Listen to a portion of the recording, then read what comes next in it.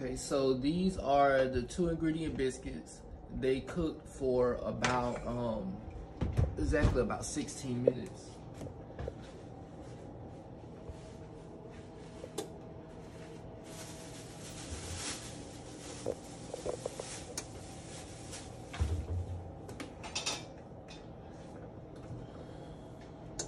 So what I do when they come out of the oven is I just put a little bit of butter on top of them, on the top.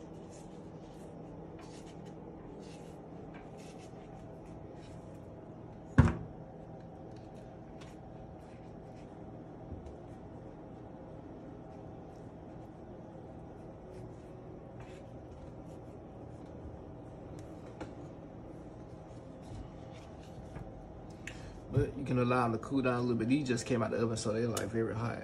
But you can see that they're like really soft, flaky. You see really hot too.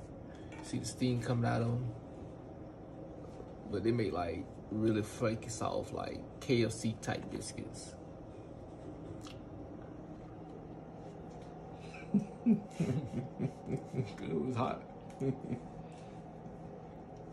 okay. That's it. Quick and easy. Thank you. Make sure you tune into his YouTube channel. It's uh, Cooking Made Easy. It's going to be down in the link. Also, it's going to be on his official Facebook page.